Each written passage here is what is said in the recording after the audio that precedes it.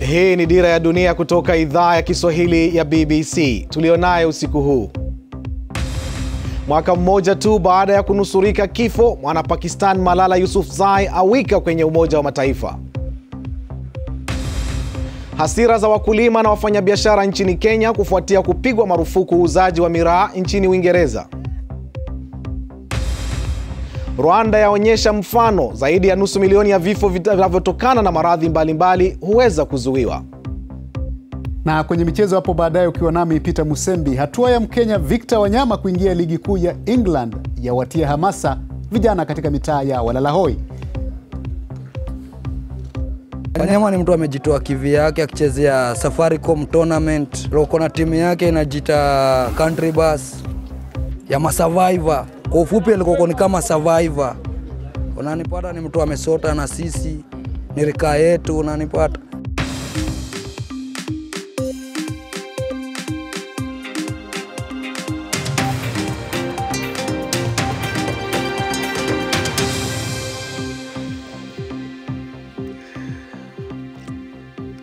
Hujambo na karibu katika Dira ya Dunia kutoka idhaa ya Kiswahili ya BBC. Tunakuletea dakika 30 za habari, maelezo, uchambuzi na michezo. Mimi ni Kasim Kaira nikiwa hapa London, na ninaendelea kuwakaribisha tena watazamaji wetu wa Rwanda kupitia TV Dis. Leo ni mwaka mmoja tangu mtoto wa kike kutoka Pakistan Malala Yousafzai alipoponea chupuchupu baada ya kupigwa risasi na Taliban. Lakini mwaka huo umegeuza maisha yake, kwani baada ya kuletwa Uingereza na kupata matibabu, Ijumaa hii imewasili kwenye jumba la Umoja wa Mataifa alipohutubia dunia kwenye kikao kisicho cha kawaida. We must not forget that millions of children are out of their school. Tusisahau kuwa mamilioni ya watoto hawako mashuleni. must not forget that our Tusisahau kwamba kaka zetu na dada zetu wanasubiri utulivu na amani siku za usoni. So let us wage. Kwa hiyo tupambane, tupambane sote dhidi ya ujinga, umaskini na ugaidi. poverty and terrorism. Malala alipigwa risasi huko Swat Valley kwa kutetea haki za watoto wa kike kuenda shule Pakistan, lakini sauti yake sasa imeenea ulimwengu mzima. Suluma Kasim anaeleza zaidi. Wakifuata nyayo za Malala, wasichana hawa wanakimbilia kwenda shule, wana hamu ya kusoma. Siku huanza kwa wimbo wa taifa. Wasichana hawa wa kaskazini wa Pakistan tayari wameshajifunza hali ilivyokuwa ngumu, kwa wanaelewa kwa Wataliban wanataka kuwanyamazisha wasichana. Wanaelewa pia Wataliban hawako mbali. Kushambuliwa kwa Malala kumebadilisha sana hali ya mambo. Walimu na wafanyakazi wa kutoa misaada waliwashawishi wazazi kuwaelimisha binti zao, na kwa sababu Malala amewapa moyo. Mama yangu aliona kile kilichomfika Malala kwenye TV, imemfanya afikirie sana. Baada ya hapo ndio akaamua kuwa wasichana pia lazima waende shuleni kupata elimu bora वो भी ऐसी तालीम करें Wasichana waliokuwa wakibakishwa nyumbani tu sasa wana mipango, wana fursa mbalimbali, lakini watoto wengi nchini Pakistan kamwe hawajawahi kuona shule ilivyo. Watoto wengi hutumia utoto wao katika mazingira kama haya, huhangaika kufanya kazi. Katika kiwanda hiki, familia nzima inafanya kazi ya kupiga matofali. Hata watoto wadogo kabisa hufanya kazi. Pakistan ina watoto wengi walio vibarua, wamezaliwa katika familia maskini ambazo mara nyingi huwa na madeni. Jeni mwenye umri wa miaka kumi ni mmoja wao. Tukilipwa ndio tunaweza kula, kama sio hivyo tunakaa na njaa. Kaka yangu aliumia, hivyo hawezi kumsaidia baba yetu kujenga matofali, hawezi kupata pesa yoyote.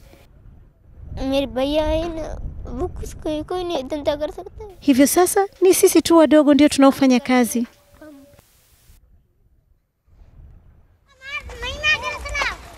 na wanafanya kazi asubuhi mpaka usiku. Somo pekee hapa ni maisha ni mtihani wa uvumilivu. sulumakasim BBC. Naam, na nimezungumza na mmoja wa wanafunzi waliohudhuria mkutano huo wa Umoja wa Mataifa kutoka Kenya, Sara Mwikali, na kwanza kabisa nilimuuliza kama shida inayowakumba watoto wa kike inapofikia watoto wa kike walemavu labda wanabaguliwa zaidi. venye nachukulia kama mtoto, msichana mwenye ako na ulemavu tunapitia mambo mingi um, tu, tu, mm, tukiendele, tukisema tunasoma uh, tukienda shule unapata hizo shule azi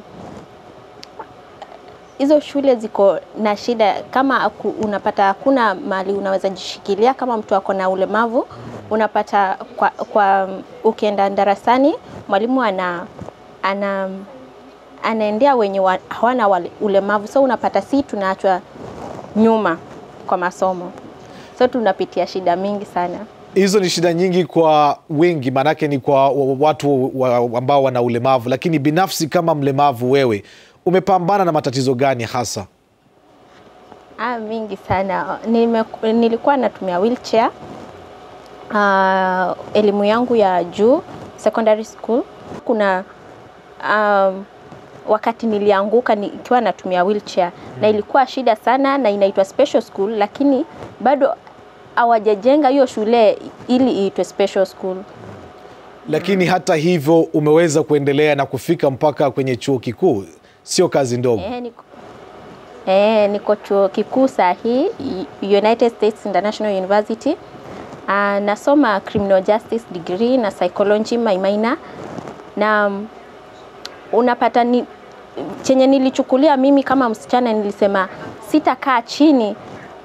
Nilisema kila mtu ako na shida, na nikaendelea kusoma na nikapita, na ndio maana nikachukuliwa university. Sasa Sara, hudhani hudhani pengine kwamba kwa kuangazia matatizo ya msichana mmoja Malala, labda suala la kutopata elimu kwa watoto wa bara la Afrika huenda likagubikwa, yani kwa kuangazia zaidi tatizo hilo katika nchi za Kiislamu? huko Afrika watu wengi ndio hawajui hii mambo ya Malala, lakini tuko na saa hii tuko na teknolojia yenye tu, kama mimi nimeweza kutumia kuwa, kutumia watu juu ya hii Malala na kuwatumia kuwakumbusha kuwa elimu ndio chanzo cha kumaliza umaskini na ku, kuonge, kuongelesha watu walimu, uh, wazazi wetu uh, mm, kulingana na shida zenye tunapitia na venye elimu ndio inaweza tusaidia kupiga hizi shida zote. Mm. So naona tunaweza enda mbali. Sara Mwikali kutoka Kenya. Na sasa tuangazie taarifa nyingine zinazogonga vichwa mbalimbali vya habari duniani kwa wakati huu. Maelfu ya wakimbizi kutoka Jamhuri ya Kidemokrasia ya Kongo wameingia Uganda baada ya kutokea mapigano makali.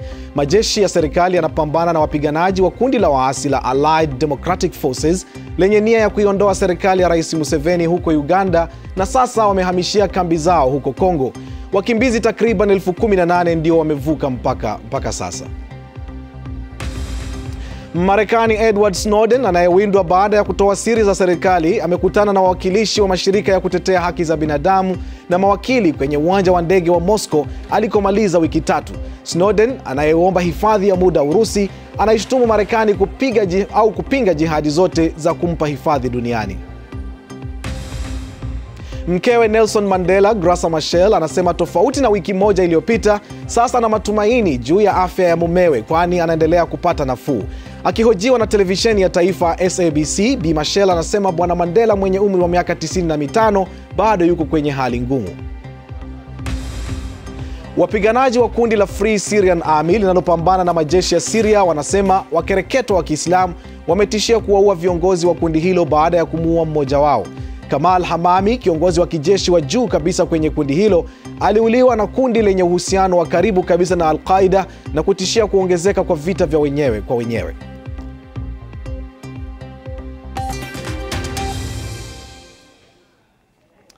Matangazo yetu ya redio kumbuka, yanaweza kusikika pia kupitia tovuti yetu maridadi kabisa bbcswahili.com.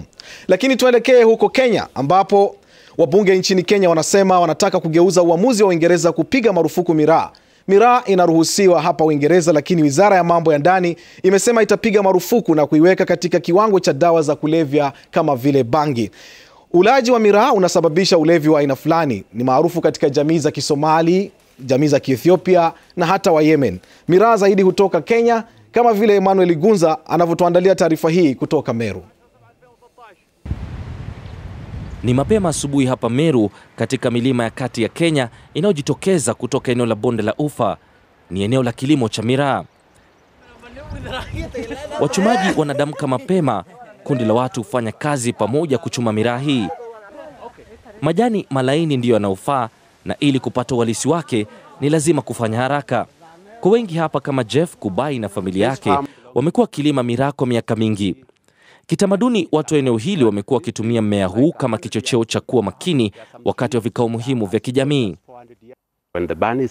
Hii marufuku ikianza, inamaanisha mjomba wangu atashindwa kuwapeleka watoto wake shule na hata kushindwa kununua nguo na chakula.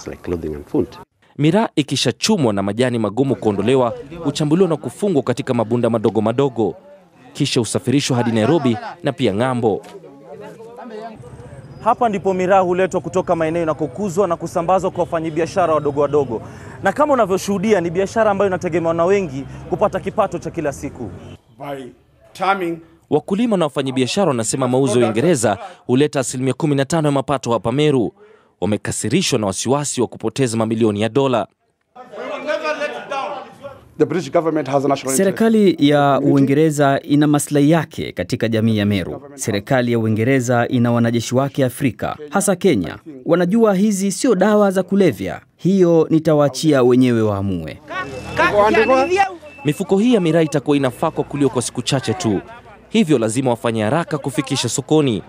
Wanaharakati wanasema miraa inavunja familia, lakini hilo hawalioni hapa kwa kuwa ndio msingi wa maisha yao. Emmanuel Gunza, BBC Meru nchini Kenya. Naam, na muda mfupi utaona hali ya uchumi inavyoendelea huko Misri baada ya kuondolewa kwa Rais Morsi wiki iliyopita. Soko la hisa la panda huku bei ya vyakula ikishuka. Naam, nakumbuka kwamba matangazo yetu ya redio yanaweza kusikika pia kupitia tovuti yetu maridadi kabisa bbcswahili.com. Hii ni Dira ya Dunia kutoka idhaa ya Kiswahili ya BBC London.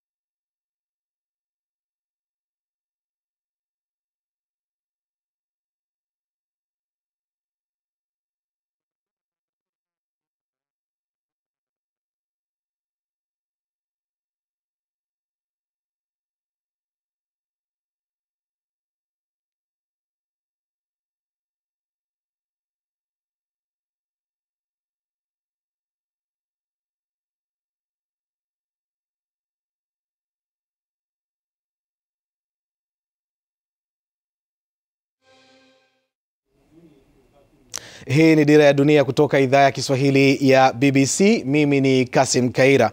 Habari kuu usiku huu: Mwanafunzi wa kike wa Pakistan ambaye alipigwa risasi na wanamgambo wa Taliban mwaka jana, Malala Yousafzai ameadhimisha siku yake ya kuzaliwa leo kwa kulihutubia baraza maalum la Umoja wa Mataifa mjini New York. Wabunge wa Kenya wameitaka Uingereza kubadilisha uamuzi wake wa kupiga marufuku miraa. Miraa inaruhusiwa hapa Uingereza, lakini wizara ya mambo ya ndani imesema itapiga marufuku na kuiweka miraa katika kiwango cha dawa za kulevya kama vile bangi.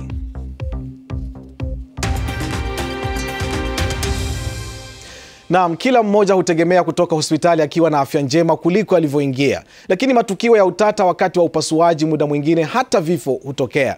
Shirika la afya duniani WHO linakadiria kuna vifo vya watu wapatao nusu milioni kila mwaka ambavyo vinaweza kuzuiliwa kwa kuhakiki orodha ya jopo wanaofanya upasuaji na wanaofanyiwa upasuaji. Tuangalie hali ilivyo Rwanda na Abdul Mohamed.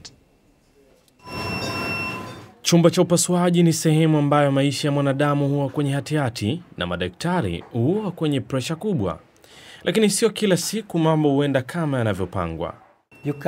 Unaweza kusahau kutoa bandeji na kifaa ndani ya mwili wa mgonjwa. Mgonjwa anaweza kupata mzio ambao alikuwa hana hapo awali, na pale ambapo unapomchoma sindano ya dawa za antibiotic na dawa nyingine, anaweza kuwa katika hali tata.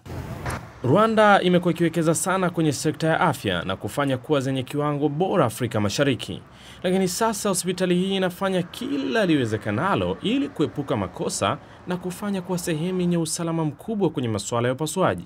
We check the identification of the patient, we check identification of the whole, whole team. Tunaangalia kitambulisho cha mgonjwa, tunaangalia vitambulisho vya jopo zima na tunaangalia upasuaji mzima utachukua muda gani. Japokuwa orodha na uhakiki hupitiwa kwa umakini mkubwa, lakini siyo rahisi kubadili tabia za watu. Dr. Sofie Leshamwala ni daktari bingwa upasuaji, amekuwa akiwafundisha madaktari wengine namna ya kufanya upasuaji salama. In the initial stages of implementation, Katika hatua za awali za utekelezaji unapokea mrejesho tofauti kutoka kwa madaktari. Baadhi yao hupokea kwa haraka na kwa uwepesi, huifanyia kazi, lakini wengine huwa wagumu na hawaelewi nini maana ya mafunzo haya, ila taratibu, kadri muda unavyokwenda, nadhani wataelewa. Hata wafanyakazi kwenye hospitali hii tayari wameona utofauti. Sure that we are doing correct surgery. Tunaamini tunafanya upasuaji salama. Tunaamini tunawahudumia wagonjwa kama inavyotakikana. Tunapata matatizo na malalamiko machache kutoka kwa wagonjwa. Hadi sasa uhakiki ni njia ambayo imetumika vizuri kwenye hospitali za Rwanda. Kama mipango hii ya majaribio itaendelea kuonyesha matokeo mazuri, basi itasambazwa zaidi. Abdul Mohamed, BBC. Na hii leo mamia ya wafuasi wa rais aliyeondolewa madarakani Muhammad Mursi huko Misri wameendelea kuongezeka kwenye mitaa ya nchi hiyo, lakini kuondolewa kwake pia kunaonekana kuinua uchumi wa taifa hilo. Soko la hisa limekuwa na upungufu wa mikate na mafuta umeondoka. Wapo ambao wanaona hilo ni thibitisho la kutowajibika kwa utawala wa Muhammad Morsi. Zuhura Yunus anaeleza zaidi. Hii ni Misri wakati Mursi alipokuwa rais. Foleni za wanaotaka mafuta, upungufu wa bidhaa, mojawapo uliozidi kuongeza ugumu wa maisha. Lakini hapa Cairo mafuta sasa yanapatikana. Tangu Morsi kuondoka, matatizo ya mafuta yamekwisha.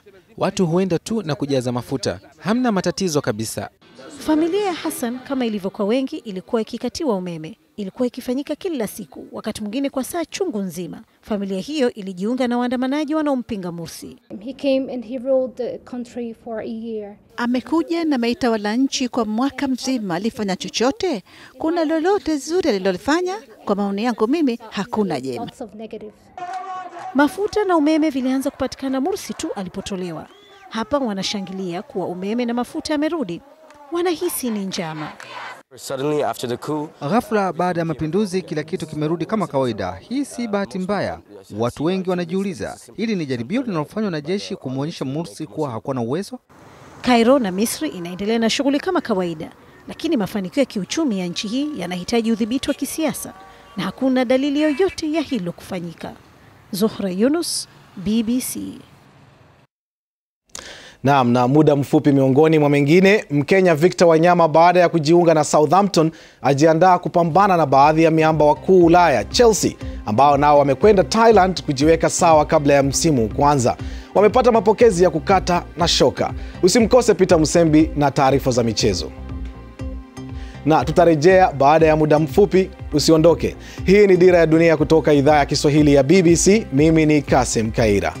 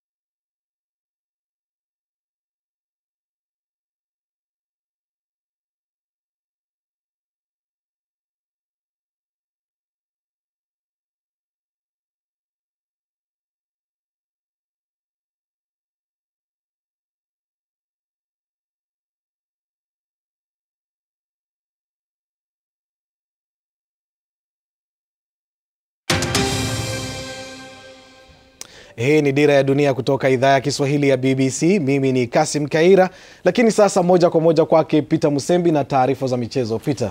Asante sana Kasim. Na baada ya kilichotokea jana kufuatia nahodha wa Kenya Victor Wanyama kujiunga na klabu ya Southampton, Wakenya wamekuwa wakielezea furaha zao, Wanyama akiwa ni Mkenya wa kwanza kabisa kucheza katika ligi kuu ya England. Wanyama ambaye amekuwa akichezea mabingwa wa Scotland Celtic alijiunga na Southampton hapo jana kwa mkataba wa miaka minne wa kima cha dola milioni 19. Vijana katika mitaa alikokulia Wanyama mjini Nairobi wamekuwa wakielezea hamasa.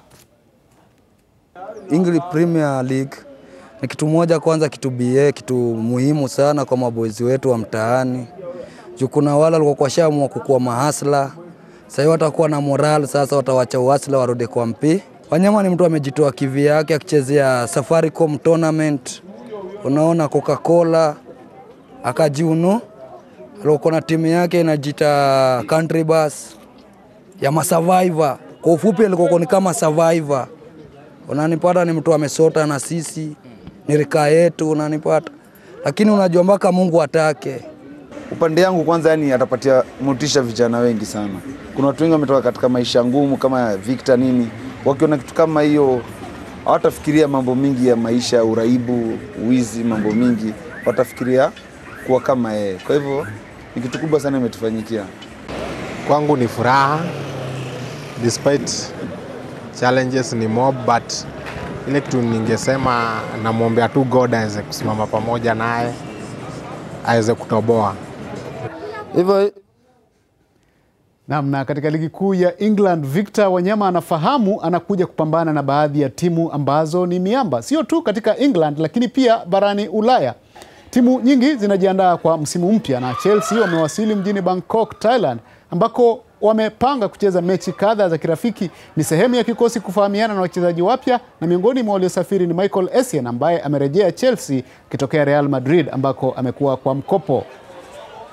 Na bila shaka timu ya taifa ya Kenya nayo na itamhitaji Victor Wanyama kuweza kujiimarisha. Ni jana tu wameondolewa kwenye michuano ya Kosafa inayoendelea nchini Zambia baada ya kufungwa na Botswana mabao mawili kwa moja. Michuano hiyo ya Kosafa sasa imeingia hatua ya robo fainali. Mabingwa watetezi Zimbabwe walitazamiwa kucheza dhidi ya Malawi. Afrika Kusini wanaoonekana wenye uwezo wa kutoa kombe e, walitazamiwa kukutana na Namibia. Wenyeji Zambia wakutane na Msumbiji, nao Angola wacheze dhidi ya Lesotho.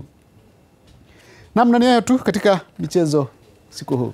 Asante sana Peter Musembi kwa habari hizo. Naam, na sasa tutupie ujumbe wako kupitia mtandao wetu, na leo tuliwauliza kuhusu elimu ya watoto wa kike huko uh, barani Afrika. Sami Mrope wa Tanzania anasema wasichana wanakosa haki kwa kiwango kikubwa sana katika kupata elimu. Wengi wao bado wanatumikishwa kama wafanyakazi wa ndani na wengine wanaolewa wakiwa na umri mdogo.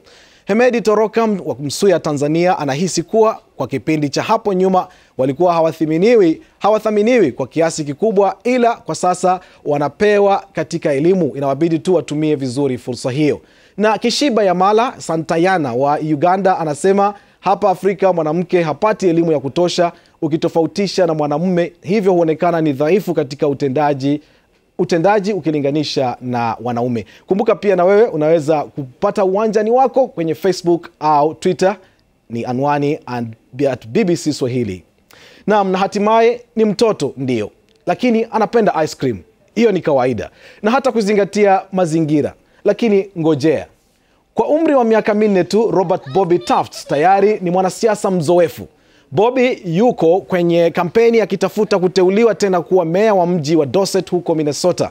Ni mji mdogo wa wakazi kama 30 na watu huchagua meya kwa kudumbukiza mikono kwenye ndoo yenye karatasi za kura, na bwana Bobi atajua tarehe nne kama ameshinda kura hiyo, lakini mpaka wakati huo anaendelea na kula mahewa.